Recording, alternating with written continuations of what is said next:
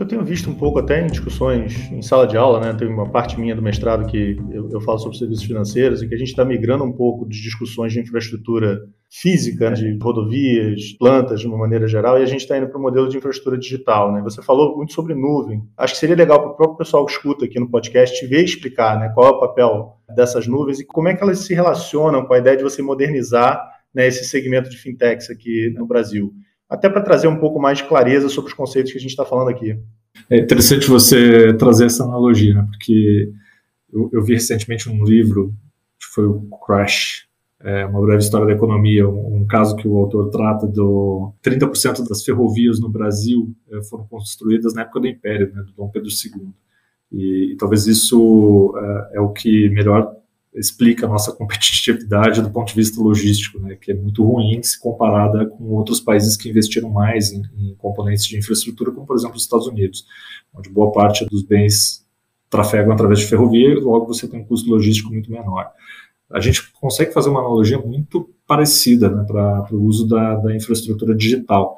Quanto mais uh, as empresas investem nessa, nessa infraestrutura, melhores ficam os processos, menores ficam os custos associados à operação.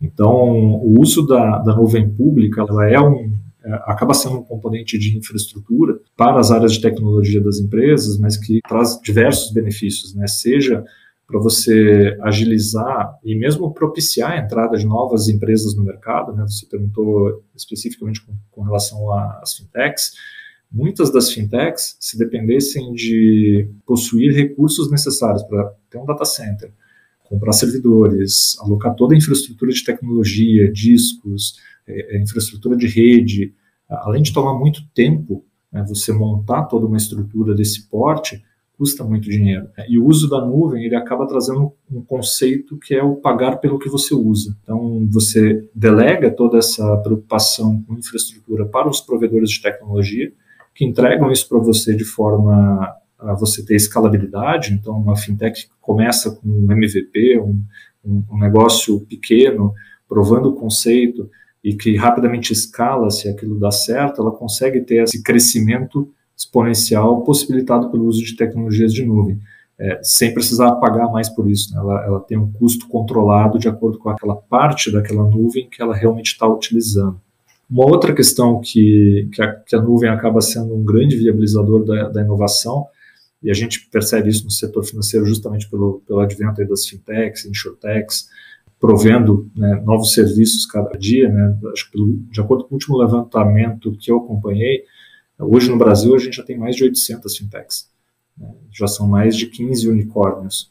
Então, são empresas que surgiram com modelos de negócio extremamente ágeis, possibilitados justamente por, essa flexibilidade que, de crescimento que a nuvem possibilita, mas é, com um componente essencial, né, é, quando a gente fala de empresas voltadas para o mercado financeiro, que é o componente da segurança. Hoje a gente tem clareza de que as infraestruturas de nuvem providas por empresas de tecnologia é, são muito mais seguras do que os próprios data centers que as empresas tradicionalmente sustentavam antes do advento da, da computação em nuvem. Por vários motivos. Primeiro, porque não é a atividade principal das empresas prover uma, uma, infraestrutura de tecnologia. Então, os cuidados com segurança eles são muito mais reativos, né, depois da ocorrência de um incidente. Na Microsoft, por exemplo, a gente opera de uma forma bastante proativa e em larga escala, porque globalmente nós temos hoje mais de 3.500 profissionais dedicados a monitoração de segurança em tempo integral.